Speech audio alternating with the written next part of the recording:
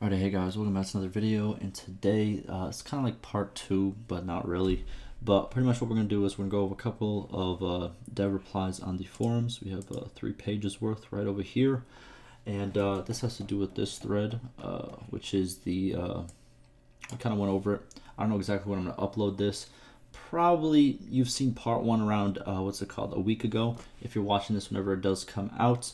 But um, the topic of it was a guy making a thread uh, talking about how they were going kind of slow. The devs replied a couple of times and just kind of gave information of what they were doing. And uh, now we're getting a little bit more information. So uh, let's get right to it. Uh, by the way, it's kind of late, so it's like 5.30 a.m. So if I'm a little bit slow, if I'm a little bit sleepy, it is what it is. All right, boys, let's do it. All right, so first we have a player saying their position on other lords, their stance on the recent future slash castle vote, and influencing it, and other mechanics present in previous games and not the current one. Okay, so what is he exactly talking about?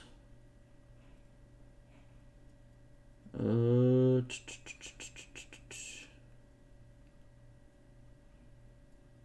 Oh, okay, okay. So they're talking about uh, immersive things uh, to discuss with lords, like more talking options and stuff of that nature. He's asking, um, you know, the previous games had it, but this one doesn't really have it. So Dev responds and says, as far as I know, some lords have dialogues about their political opinion, and maybe that they can be expanded to cover more of them.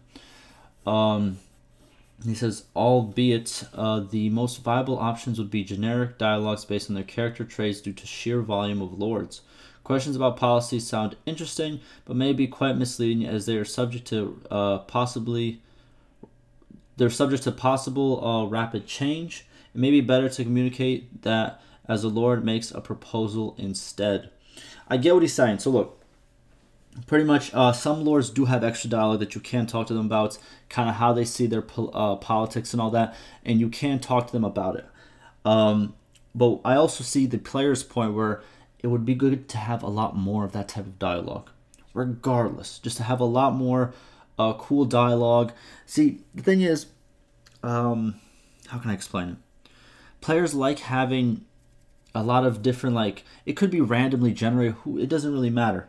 You know, it could be, you could make some dialogue based on the traits, you can make some dialogue based on their policies, and just mismatch them. If the, if it always feels like a new, a fresh experience with uh, each lord, even though it's, it's just randomized by certain different words, you know, in the sentence, it just gives the player that immersive feeling that everyone's just a little bit different. You know what I mean?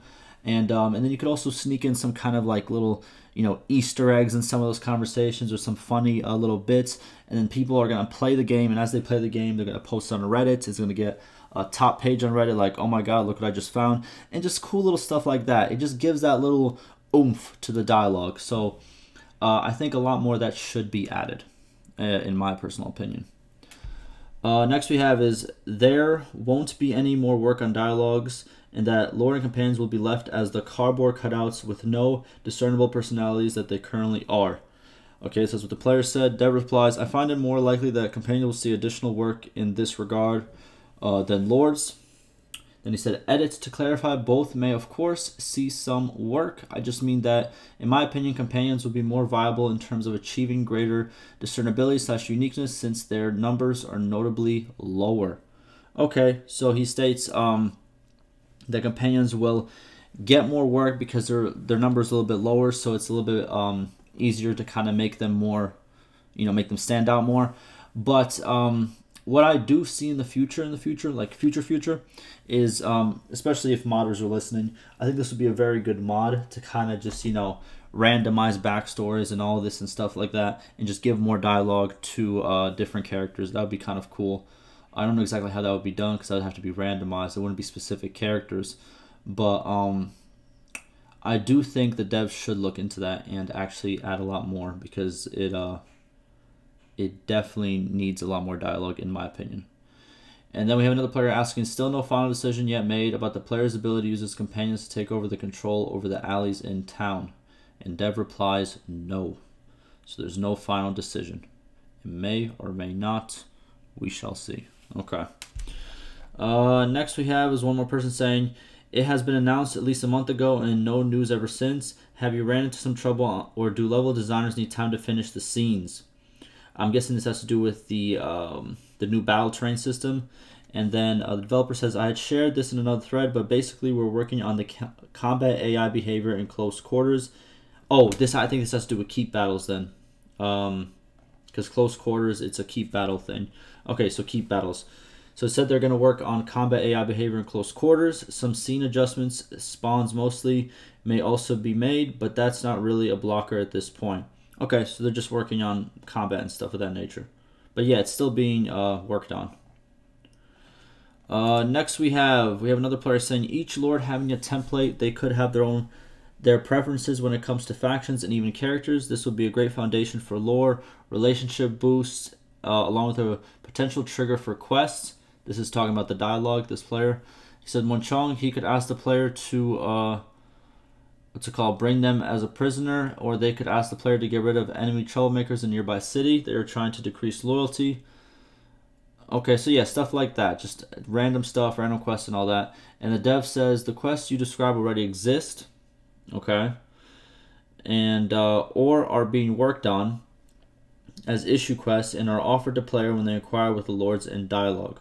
That is true. A lot of these do already exist. I think the player is just talking about, you know, just anything, more dialogue in any single way, which I think the devs do understand, but at the same time, you know, you know, I don't I don't know what the I don't know the predicament they're in, so I can't really speak on that. But I do think that more would be better.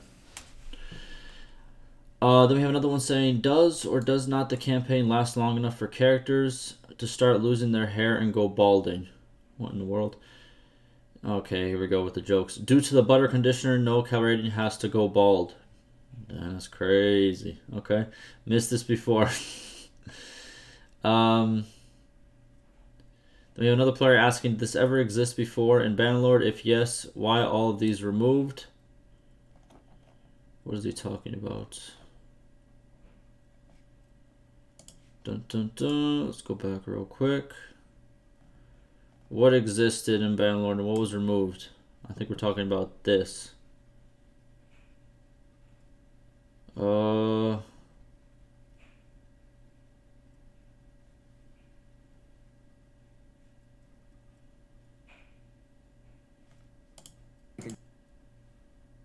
Okay, what are we seeing? So this is like from a long time ago. But it's pointing towards this.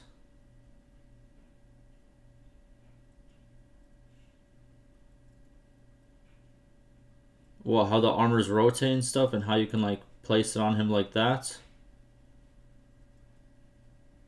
Is that what he's talking about? Okay, let's go back and see what the dev has to say. He says, I don't know. This is a long before my time. This may have been plans and even prototypes, but we clearly don't have those features now. However, this re isn't really true. Okay, I don't know exactly what he's talking about, but okay.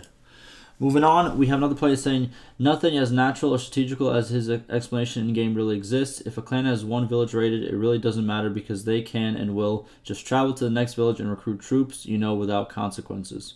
Okay? And Dev responds saying, Raiding villages does, have a number of consequences, such as effects on the bound centers, loyalty slash security, as well as the economic food situation. These may not be uh, that simple to see for the player, as they affect, as they take effect over time and compete with other effects that may counteract that, counteract them, but they are there and can lead to things like starvation or rebellion. Okay, um, so I'm kind of on the fence about this I get where the player's coming from, where raiding villages isn't that big of a deal, like at all, really. Um, and it probably should be more of a big deal. And um, but at the same time, I do also get what the dev is saying that it does have effects, but it just not might not be seen to the player as that big of an effect because it does take time to take place. And also, if we're being completely honest, you know, raiding um, what's it called villages in uh, Warband kind of had that kind of same concept where it was kind of a big deal, but not really. Do you know what I'm trying to say? It was kind of like in between. But uh, yeah. I don't know. Maybe they should make it more cons- more consequential to, um, you know, if your village is raided. Uh, I'm kind of on the fence about that. Alrighty, next page. Alrighty, what else? We got a couple of things from players and developers. So the player says having mounted captains stay behind infantry or archer groups during the advance and charge commands. Okay, so this is kind of like the placement of captains uh, before the battle starts. Uh, the dev responds saying the underlying issue of captains on horses charging or advancing alone ahead of their formation has been brought up internally in a suggestion meeting before. It was noted that this is not a desired behavior that we should uh, resolve it with AI. At the moment, we already have a system in place which makes troops from the same formation charge together. Okay. I recorded this video on 1.5.10 as an example of this behavior. The mounted companion has a speed limit has the speed limit of the on foot uh, units in the formation. Okay, what is this?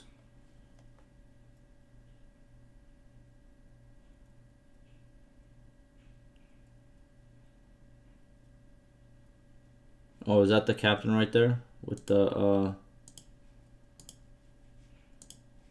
Okay, so that's the captain he's just going the same way.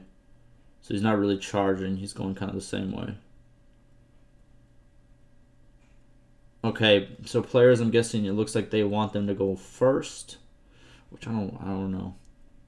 This is more of a formation question. I'll be honest with you. Like you guys know, I'm not that much. Uh, I don't go too crazy with the formations. I'm kind of a basic person when it comes to that.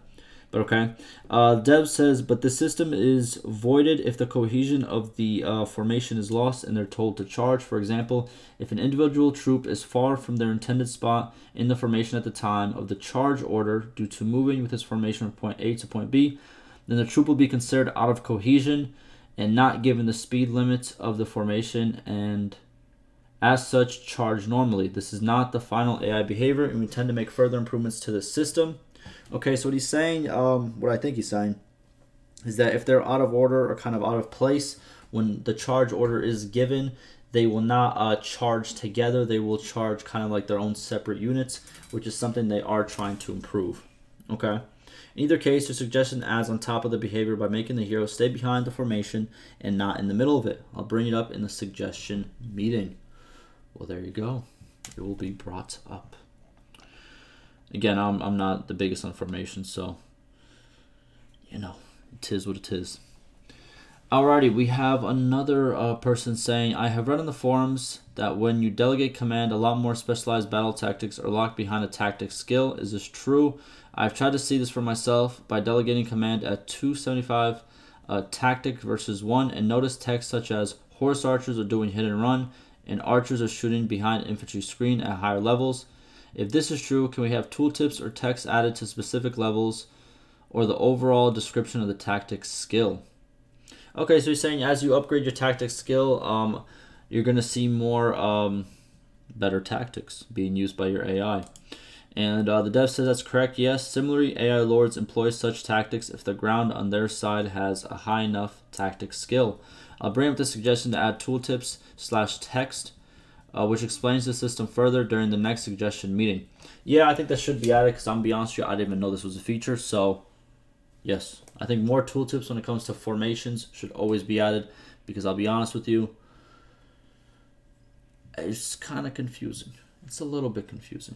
And uh, I'd be messing up a lot when it comes to formations. I really do. We got a lot of formation questions here. Okay. Second, related to number one, is there a plan to expand the formations and troop orders to allow the player to use these? I'm very interested in ordering my cavalry to protect the flanks or having my horse archers as skirmishers perform hit and run tactics to bait enemy formations into charging me. Uh, Dev state there are currently no plans to this. I'll bring this up in the next suggestion meeting.